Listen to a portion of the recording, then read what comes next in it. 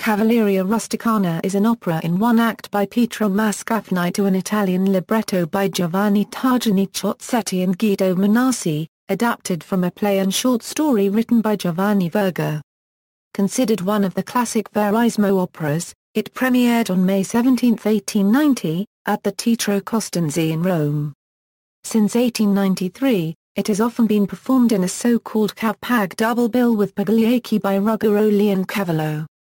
Composition history In July 1888 the Milanese music publisher Eduardo Sonzogno announced a competition open to all young Italian composers who had not yet had an opera performed on stage. They were invited to submit a one-act opera, which would be judged by a jury of five prominent Italian critics and composers.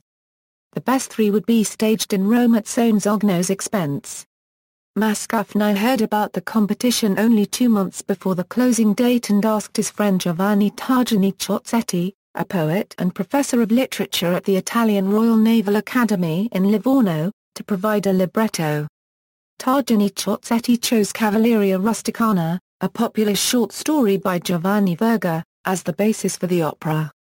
He and his colleague Guido Menasci set about composing the libretto, sending it to Mascagni in fragments, sometimes only a few verses at a time on the back of the postcard. The opera was finally submitted on the last day that entries would be accepted. In all, 73 operas were submitted, and on March 5, 1890, the judges selected the final three, Nicola Spinelli's Labilia, Vincenzo Ferroni's Rudello, and Mascagni's Cavalleria Rusticana. There have been two other operas based on Verga's story. The first, Malapasqua, by Stanislao Gastaldon, was entered in the same competition as Mascagni's. However, Gastaldon withdrew it when he received an opportunity to have it performed at the Teatro Costanzi, where it premiered on April 9, 1890. In the 1907 Sonzogno competition, Domenico Monleone submitted an opera based on the story, and likewise called Cavalleria Rusticana.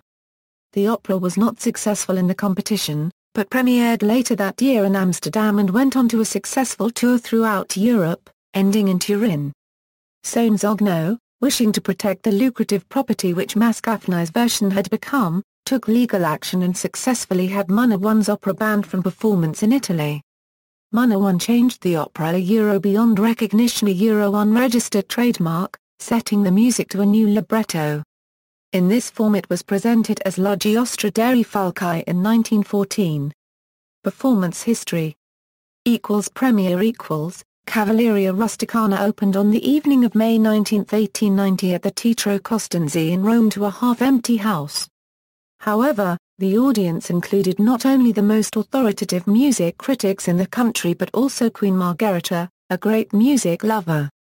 It was a success from its opening notes. Following Stagno's rendition of the Siciliana behind the curtain the audience leapt to their feet with a thunderous applause not heard for many years. The number was encored as were a number of other numbers in the opera. It was a sensation, with Mascagni taking 40 curtain calls and winning the first prize.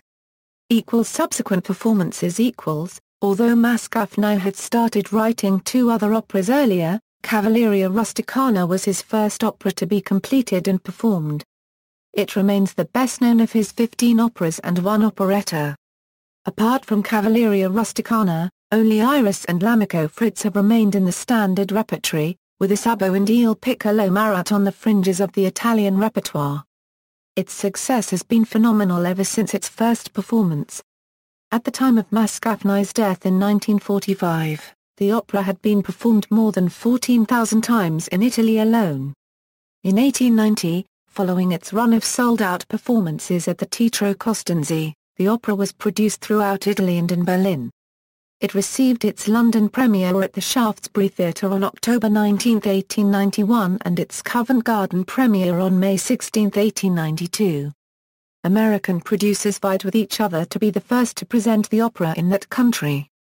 Cavalleria Rusticana finally had its American premiere in Philadelphia at the Grand Opera House on September 9, 1891, followed by a performance in Chicago on September 30, 1891.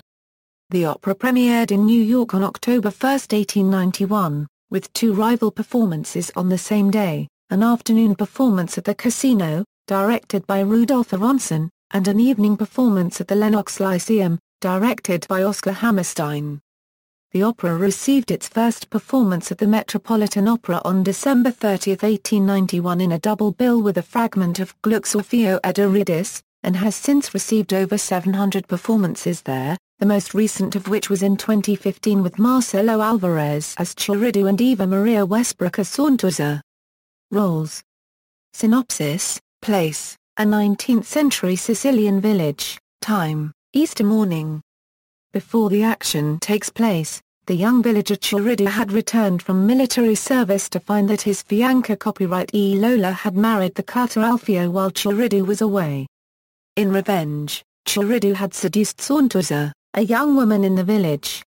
As the opera begins, Lola, overcome by her jealousy of Santuzza, has begun an adulterous affair with Turiddu the main square of the village, off-stage, Turiddu is heard singing the Siciliana Euro O Lola, lovely as the spring Euro unregistered trademark S bright blooms. To one side is the church. To the other is Lucia's wine shop and the house where she lives with her son, Turiddu. The villagers move about the square, singing of the beautiful spring day and a hymn to the Blessed Virgin Mary. Some villagers enter the church, and others wander off still singing. Santuzza, having slept with Turiddu and suspecting that he has betrayed her for Lola, is distraught and approaches Lucia as she comes out of her house. Santuzza asks for Turiddu, but Lucia replies that he has gone to another town to fetch some wine. Santuzza tells her that he was seen during the night in the village. Lucia asks her inside to talk, but just at that moment Alfio arrives on his wagon, accompanied by the villagers. He praises the joys of a teamster's life and the beauty of his bride. Alfio asks Lucia for some of her fine old wine. She tells him it has run out and Turiddu has gone away to buy more. Alfio replies that he had seen Turiddu early that morning near his cottage. Lucia starts to express surprise, but Santuzza stops her. Alfio leaves. The choir inside the church is heard singing the Regina Coeli. Outside, the villagers sing an Easter hymn, joined by Santuzza. The villagers enter the church, while Santuzza and Lucia remain outside. Lucia asks Santuzza why she signaled her to remain silent when Alfio said that he had seen Turiddu that morning. Santuzza exclaims, we lo to euro now you shall know, and tells Lucia the story of her seduction by Turiddu and his affair with Lola. Lucia pities Santuzza, whom the villagers are considering excommunicating for her seduction. Santuzza cannot enter the church, but begs Lucia to go inside and pray for her. Turiddu arrives. Santuzza upbraids him for pretending to have gone away, when he was actually seeing Lola. Lola enters the square singing. She mocks Santuzza and goes inside the church. Turiddu turns to follow Lola, but Santuzza begs him to stay. Turiddu pushes her away. She clings to him. He loosens her hands, throws her to the ground, and enters the church. Alfio arrives looking for Lola. Santuzza tells him that his wife has betrayed him with Turiddu. Alfio swears to take vendetta which causes Santuzza to repent for having disclosed the affair and begs Alfio to stop to no avail. The square is empty as the orchestra plays the famous intermezzo. The villagers come out of the church. Turiddu is in high spirits because he is with Lola and Santuzza appears to have gone. He invites his friends to his Muthera Euro unregistered trademark S wine shop where he sings a drinking song, Viva, Io Vino Spumegantia Euro Hail to the bubbling wine. Alfio joins them. Turiddu offers him wine, but he refuses it. All understand that trouble is in the air. The women leave, taking Lola with them. In a brief exchange of words, Alfio challenges Turiddu to a duel. Following Sicilian custom, the two men embrace, and Turiddu, in a token of acceptance, bites Alpha Euro unregistered trademark ear, drawing blood which signifies a fight to the death. Alfio leaves and Turiddu calls Lucia back. He tells her that he is going outside to get some air and asks that she be a kindly mother to Santuzza if he should not return, un bacio, mama. Bacio. A Euro Adio. A Euro One Kiss, Mother. One More Kiss. A Euro Farewell. Turiddu rushes out. Lucia, weeping, wanders aimlessly around outside her house. Santuzza approaches and throws her arms around her. The villagers start to crowd around. Voices are heard in the distance and a woman cries, they have murdered Turiddu. Santuzza faints and Lucia collapses in the arms of the women villagers. Instrumentation, Mascagni calls for a standard-sized orchestra consisting of two flutes, two piccolos, two oboes, two clarinets, two bassoons, four horns, two trumpets, three trombones, tuba, timpani, percussion, harp, organ and strings.